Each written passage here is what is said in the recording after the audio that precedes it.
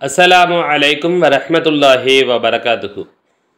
அல்லாஹும்ம சலி அலா சையிதினா வ நபியினா வ மௌலானா முஹம்மதின் வ அலா அலி சையிதினா வ நபியினா வ மௌலானா முஹம்மதின் அதத மாஃபி அல்மில்லா சலாத்தன் தாயிமத்தன் பிதவாமி முல்கில்லா அமாபாயத் பாயத் நல்லடியார்களே ஒரு முறீது பேண வேண்டிய ஒழுக்கங்களை பற்றி பார்த்து வருகின்றோம். அதிலே முதல் நான்கு ஒழுக்கம் குருமார்களுக்கு ஷேகுமார்களுக்கு ஒரு முரீது என்னென்ன ஒழுக்கங்களை எல்லாம் செய்ய வேண்டும் என்னென்ன விதத்தில் அவர்களிடம் நடந்து கொள்ள வேண்டும் என்பதாக பார்த்தோம். ஐந்தாவது ஒழுக்கத்திலிருந்து ஆறாவது ஒழுக்கம் ஏழாவது ஒழுக்கம் இன்று எட்டாவது ஒழுக்கம் இவைகளெல்லாம் நாம் தேர்ந்தெடுக்க வேண்டிய கல்விகள் சம்பந்தப்பட்டது. அந்த கல்விகளை எப்படி கற்க வேண்டும் என்பது சம்பந்தமான சில ஒழுக்கங்களை சொல்லித் தருகின்றார்கள். முதலாவதாக ஐந்தாவது ஒழுக்கத்திலே எல்லாவித கலைகளையும் கற்றுக்கொள்ள முயற்சிக்க வேண்டும். ஆறாவதாக எல்லாவித கலைகளையும் கற்றுக்கொள்ள அவர் முயற்சித்தால் கூட அதில் முழுமையாக இறங்கிவிடக்கூடாது என்பதாகவும் ஏழாவது ஒழுக்கமாக எந்த கலைகளை கற்றாலும் அதிலே பாதி பாதியாக விட்டுவிடக்கூடாது. அடுத்த கல்வியை நாம் கற்பதற்கு இந்த கல்வி எந்த அளவு உபயோகமாகுமோ அந்த அளவு நாம் அந்த கல்வியை கற்றுக்கொள்ள வேண்டும் என்பதை எல்லாம் கூறினார்கள். சரி இப்போது எட்டாவது ஒழுக்கம் என்னவென்றால் ஒரு கல்வியை இவர் சிறந்த கல்வி என்பதாக இவர் எப்படி தேர்வு செய்து கொள்வது என்பது சம்பந்தமாக இந்த தொடரிலே நாம் பார்க்க இருக்கின்றோம்.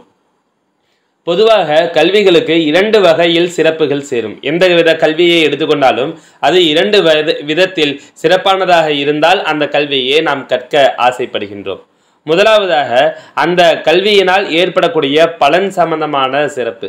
மருத்துவம் இருக்கின்றது என்றால் அந்த மருத்துவத்தினால் நமக்கு என்ன ஏற்படும்? உடல் உபாதைகள் உடலில் ஏற்படக்கூடிய எல்லா நோய்களையும் நீக்கி நம்மை சுகமாக வாழ வைக்கும். இதுதான் மருத்துவத்தின் பயன். இந்த பயனுடைய சிறப்பை வைத்து அது என்ன பயன் தருமோ அது எந்த அளவு முக்கியம் வாய்ந்ததோ அந்த முக்கியத்துவத்தை வைத்து அந்த கல்விக்கு ஒரு முக்கியத்துவம் ஏற்படும். இது ஒரு வகை. இரண்டாவது அந்த கல்வி எந்த இடத்தில் இருந்து எடு எடுக்கப்படுகின்றது? எதிலிருந்து அது தேவை எடுக்கப்படுகின்றது? அதே போன்று அந்த கல்வி எத்தனை பேருக்கு எத்தனை நபர்களுக்கு தேவையாகின்றது? இவைகளை எல்லாம் கவனித்து அந்த கல்வியுடைய சிறப்புகள் கூடும். உதாரணமாக எல்முத்தீன் மார்க்க கல்வியை எடுத்துக்கொள்ளலாம். இது எடுக்கக்கூடிய இடம் எது? குரானும் ஹதீஸிலிருந்தும் எடுக்கப்படுகின்றது. ஆகையினால் உயர்ந்த இடத்தில் இருந்து வருவதனால் அல்லாஹ்விடமும் ரசூல் இடத்திலிருந்தும் வருவதனால் இது உயர்ந்த கல்வி. அதே போன்று இந்த எல்முத்தீன் என்பது இஸ்லாமிய மனிதர்கள் எல்லோருக்கும் தேவைப்படக்கூடியது. இந்த நபர்களை விட்டு இந்த நபர்களுக்கு இந்த நபர்களை விட்டு இந்த நபர்களுக்கு என்பதாக கூற முடியாது. இதிலிருந்து பயன்பெறக்கூடியவர்களும் எல்லா நபர்களும். ஆகையினால் இது இவ்வாறு ஒரு வகையாக சிறப்பு பெறும். ஒன்று அதில் ஏற்படக்கூடிய பயனை வைத்து சிறப்புகள் ஒரு கல்விக்கு ஏற்படும். அல்லது அந்த கல்வி எதிலிருந்து எடுக்கப்படுகிறது? அதை எத்தனை நபர்கள் உபயோகிக்கின்றார்கள் என்பதை பொறுத்து அந்த கல்விக்கு சிறப்பு ஏற்படும். இப்படி இரண்டு வகையாக ஒரு கல்வியுடைய சிறப்பை நாம் தெரிந்து கொள்ளலாம். இந்த விதத்தில் தான் நாம் ஒரு கல்வியை தேர்ந்தெடுக்க வேண்டும்.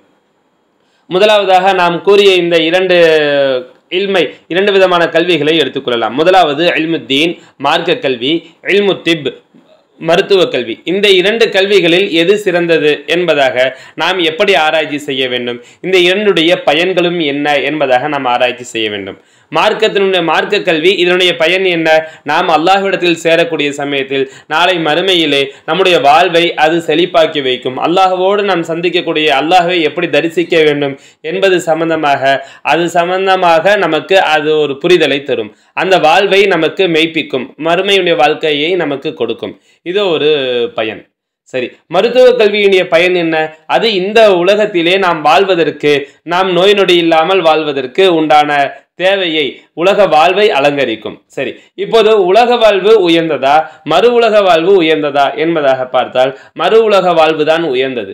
அப்ப சிறந்த பயனை தரக்கூடிய அந்த எல்முத்தீன் தான் உயர்ந்தது என்பதாக நாம் முடிவு பெறலாம். அதற்கு பிறகுதான் எல்முத்திப்பு மருத்துவ கல்வி. இப்ப இந்த இரண்டு கல்வியிலே மருத்துவ கல்வி உயர்ந்ததா மார்க்க கல்வி அது உயர்ந்ததா என்பதாக பார்த்தால் முதல் இடத்தை பிடிப்பது மார்க்க கல்வி. அதற்கு பிறகுதான் மருத்துவ கல்வி. சரி இது ஒரு வகை.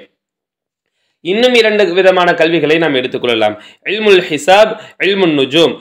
கணிதவியல் கணக்குத்துறை. இது ஒரு கல்வி. இது ஒரு விதமான கலை. அதே போன்று எல்முன் நுஜூம். அந்த நட்சத்திரங்களை வைத்து ஜோசியம் கூறுவதை போன்று அந்த வானசாஸ்திர கலைகளோடு சம்பந்தப்பட்டது. இந்த கல்வி இது ஒரு துறை. இந்த இரண்டு துறைகளிலே எது சிறந்தது என்பதாக நாம் ஆராய்ச்சி செய்தால் நாம் நமக்கு கிடைப்பது இந்த எல்முல் ஹிசாப் என்பது எல்லோருக்கும் இரண்டு வகையான பிரயோஜனங்களை இரண்டு வகையாக கல்விகள் சிறப்பு பெறும் என்பதாக கூறினோம். இப்போது நாம் இந்த எல்முல் ஹிசாபு கணித துறை என்பது இருக்கின்றது எல்முன் நுஜூம் இந்த வானசாஸ்திர கலை என்பது இருக்கின்றது. இந்த இரண்டு கலைகளையும் ஒப்பிட்டு பார்க்கும் பொழுது அதிகமான நபர்கள் உபயோகப்படுத்தக்கூடியது அதிகமான எல்லா நபர்களுக்கும் தேவையாகக்கூடிய கல்வி எது என்று பார்த்தால் எல்முல் ஹிசாப் கணிதவியல் தான். இந்த அல்முன் நுஜூம் என்பது அவ்வாறு இல்லை. எல்லோருக்கும் தேவையாகும் என்பது இல்லை. யாராவது சிலர்கள் அதன் பக்கம் தேவையாகலாம். சில மனிதர்களுக்குத்தான் தேவையாகும். ஆகையினால் இந்த அல்முன் நுஜூமை விட அல்முல் ஹிசாப் இந்த கணிதவியல் என்பது உயர்ந்தது என்பதாக கூறலாம். இப்படி ஒரு முறையிலும் கூறலாம். இன்னொரு முறையிலும் இது எது உயர்ந்தது என்பதாக நாம் ஆராய்ச்சி செய்யலாம். எப்படி? பொதுவாக நாம் கணக்கை ப கணிதத்தை பார்க்கும் பொழுது இரண்டும் இரண்டு இரண்டும் இரண்டும் எத்தனை என்பதாக கூட்டினால் இரண்டும் இரண்டும் நான்கு என்பதாக மிக ஆதாரமாக மிக தெளிவாக நாம் கண்டிப்பாக கூறிவிடலாம்.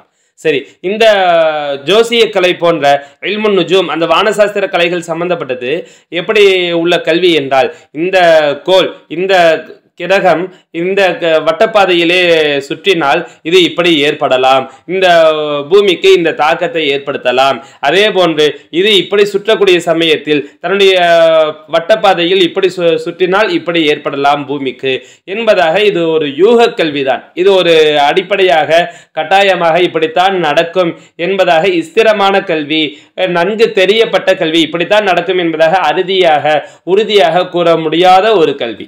அப்படி பார்க்கும் பொழுதும் இதுதான் மிக உயர்ந்ததாக உறுதியாக கூறக்கூடிய கல்வி. இது உறுதியிட்டு கூற முடியாத கல்வி யூக கல்வி. அப்படி பார்க்கும் பொழுதும் இந்த கணிதம்தான் இந்த கணிதத்துறை தான் மிக உயர்ந்ததாக இருக்கின்றது. சரி இப்போது இதிலே உயர்ந்த கல்வியை எடுத்துக்கொள்ளலாம். இந்த இரண்டு வகையில் பார்க்கும் பொழுது கணிதம் என்பது உயர்ந்த கல்வி என்பதாக கூறிவிட்டோம். சரி அந்த இதிலே அந்த முன்னால் நாம் கூறிய இதிலே பார்க்கும் பொழுது இல்முத்தீன் என்பதுதான் உயர்ந்தது என்பதாக கூறிவிட்டோம். அதை விட்டுவிடுவோம். இந்த அதற்கு அடுத்தபடியாக இருக்கக்கூடிய அந்த மருத்துவ கல்வியை எடுத்துக்கொள்வோம். இந்த மருத்துவ கல்வி உயர்ந்ததா? அதே போன்று இந்த கணிதத்துறை உயர்ந்ததா என்பதாக பார்க்கும் பொழுது மருத்துவத்துறை தான் நமக்கு உயர்ந்ததாக இருக்கின்றது. அதாவது கல்வியின் சிறப்புகளை பற்றி பார்க்கும் பொழுது இரண்டு வகையில் பார்க்கலாம். பயனை வைத்தா அல்லது அது எதிலிருந்து எடுக்கப்படுகிறது என்பதை வைத்தா என்பதாக பார்த்தால் பயனை வைத்து என்பதைத்தான் நாம் முதலாவதாக பார்க்க வேண்டும் என்பதற்காக இந்த ஒப்பீடை கூறுகின்றார்கள். இப்போது இந்த இல்முன்னு ஜூம் என்ற வானசாஸ்திர கலையை விட நாம் இல்முல் ஹிசாப் கணிதவியல் தான் உயர்ந்தது என்பதாக பார்த்துவிட்டோம். இந்த இல்முல் ஹிசாபை விட இல்மு திப் மருத்துவ கல்வி தான் உயர்ந்தது என்பதை இதிலிருந்து நாம் தெரிந்து கொள்ளலாம். நிறைய நபர்கள் எல்லா நபர்களும் பயன்பெறுகிறார்கள். அது இல்லாவிட்டால் எல்லா எல்லோருக்கும் ஒரு இடைஞ்சல் ஏற்படுகின்றது. ஆகையினால் இப்படியெல்லாம் நாம் வைத்து பார்க்கும் பொழுது கணிதவியலை விட இந்த மருத்துவ கல்வி உயர்ந்தது என்பதாக நாம் தெரிந்து கொள்ளலாம். இந்த மருத்துவத்தை விட நாம் மார்க்கத்தினுடைய கல்வி உயர்ந்தது என்பதாக நாம் தெ- ஏற்கனவே தெரிந்துவிட்டோம். இப்படியெல்லாம் நாம் சிந்தித்து பார்த்துதான் இந்த கல்வியை நாம் கற்கலாமா கற்கக்கூடாதா என்பதாகவெல்லாம் ஒரு கல்வியோடு நாம் தொடர்பு கொள்ள வேண்டும். இப்படியெல்லாம் நாம் தொடர்பு கொள்ளக்கூடிய சமயத்தில் இருப்பதிலேயே மிக உயர்ந்த கல்வி எது? இல்முத்தீன் மார்க்க கல்வி என்பதாக தெரிந்து கொண்டோம். இல்மும் பில்லா அல்லாஹுவை பற்றி அறியக்கூடிய அந்த கல்விதான் என்பதாக தெரிந்துவிட்டோம். இல்முல் ஆஹிரா மறுமையுடைய கல்விதான் என்பதாகவெல்லாம் தெரிந்துவிட்டோம். இப்படியெல்லாம் படிப்படியாக படிப்படியாக ஆராய்ச்சி செய்து நாம் இல்முல் ஆஹிரா அந்த மறுமையுடைய கல்விதான் உயர்ந்தது என்று தெரிந்த பிறகு இமாம் கசாலி ரஹமத்துல்லாஹி அலஹி அவர்கள் நம்மை எச்சரிக்கின்றார்கள் ஃபை ஈயாக்க அன் தருகப இல்லாஃபிஹி வேறு சில நோக்கங்களுக்கு நோக்கங்களுக்காக இந்த எல்முல் ஆஹிரா எனப்படக்கூடிய இந்த உயர்ந்த கலையை விட்டும் வேறு கலைகளில் உனது சிந்தனைகள் சிதறுவதை அதிலே நீ ஆர்வமாக இருப்பதை நான் எச்சரிக்கின்றேன். எனக்கு இதிலே தான் பணம் கிடைக்கின்றது. இதை நான் இப்போது கற்றால்தான் எனக்கு பதவி கிடைக்கின்றது. இதை நான் கற்றால்தான் நமக்கு உயர்வு கிடைக்கிறது என்பதாகவெல்லாம் எண்ணிக்கொண்டு நாம் வேறு கலைகளில் ஆர்வமாக இருப்பதை நான் எச்சரிக்கின்றேன்.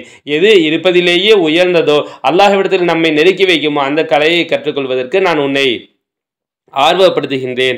வ அந்த ஹரிச இல்லா அழகி அதை தவிர அந்த கல்வியை தவிர வேற கலைகளின் மீது நீ பேராசை கொள்வதையும் நான் எச்சரிக்கின்றேன் என்பதாக இமாம் கசாலி ரஹமத்துல்லாஹி அலைஹி அவர்கள் இந்த அல்முல் ஆஹரா மறு உலகத்துடைய கல்வியினுடைய அவசியத்தையும் அதே போன்று நாம் எப்படி ஒரு கல்வியை தேர்ந்தெடுக்க வேண்டும் என்ற ஒழுக்கத்தையும் நமக்கு கற்றுக் கொடுத்தார்கள். இதுதான் எட்டாவது ஒழுக்கம். இன்ஷா அல்லாஹ் அடுத்த தொடர்களிலே ஒன்பதாவது ஒழுக்கம் என்ன என்பதை மிக தெளிவாக பார்க்கலாம். சல்லல்லாஹு அலா முஹம்மத் யா ரப்பி சல்லி அலைஹி வசல்லிம் அஸ்ஸலாமு அலைக்கும் வரஹ்மத்துல்லாஹி வபரகாத்துஹு. நமது அன்றாட வாழ்க்கைக்கு பயன்படும் விஷயங்களை நீங்கள் தெரிந்து கொள்வதற்கு நமது மைண்ட் பிளாக் சேனலையும் சப்ஸ்கிரைப் செய்து கொள்ளுங்கள். அஸ்ஸலாமு அலைக்கும் வரஹ்மத்துல்லாஹி வபரகாத்துஹு.